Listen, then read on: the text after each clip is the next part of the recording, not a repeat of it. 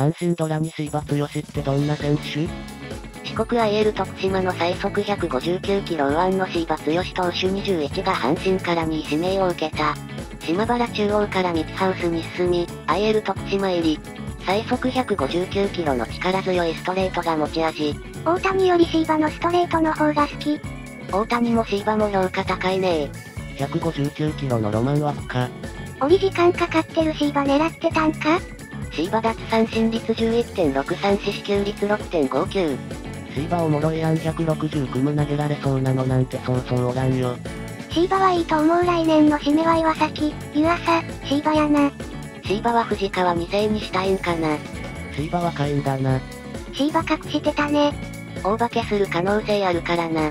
シーバってまだ大学3年の年でしょ早いだけじゃなく重そうな球投げてるし。シーバが一番将来性あるんちゃうかもちろんコントロールに苦しんで戦力にならずパターンはあるが。シーバだけか180超えてんの。シーバって少年時代は阪神ファンだったのかう。これからも阪神ファンのための動画をお届けするので、阪神ファンの方はチャンネル登録の応援よろしくお願いします。